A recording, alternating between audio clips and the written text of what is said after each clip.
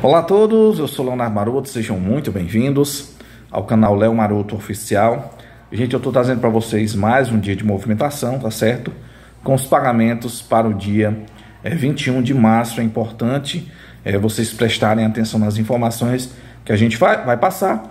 Nesse vídeo eu vou tirar algumas dúvidas e é importantíssimo que vocês façam o passo a passo que eu vou indicar aqui. Se vocês tiverem algum problema, no cadastro, eu vi que muitas pessoas estão tendo os cadastros é, bloqueados, estão sim interferindo no pagamento e eu vou dizer para vocês o que vocês devem fazer.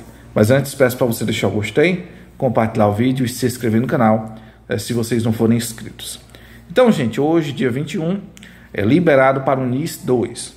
Lembrando a vocês que é 600 reais para quem não tem filhos 600 reais mais 150, totalizando 750 para as famílias com a criança de 0 a 6 anos, no caso, uma cota, e 900 reais para as famílias com duas ou mais crianças de 0 a 6 anos. Vocês podem fazer as movimentações através do aplicativo Caixa Tem e usando os cartões Cidadão, cartão do Bolsa Família, cartão vinculado à sua conta e o cartão do auxílio que ele tem a função de débito. Então vocês podem usar todos esses se der algum problema, vai na Caixa Econômica, informa que os atendentes vão te ajudar da melhor maneira possível. Agora, se você teve algum problema de bloqueio no seu cadastro, você vai ter que ir no CRAS, verificar como está o seu cadastro, atualizar, você espera o governo analisar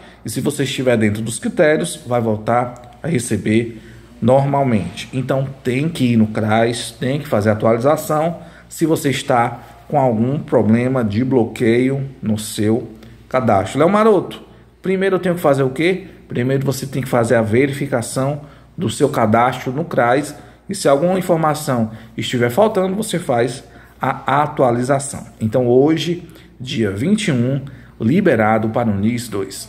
Até a próxima.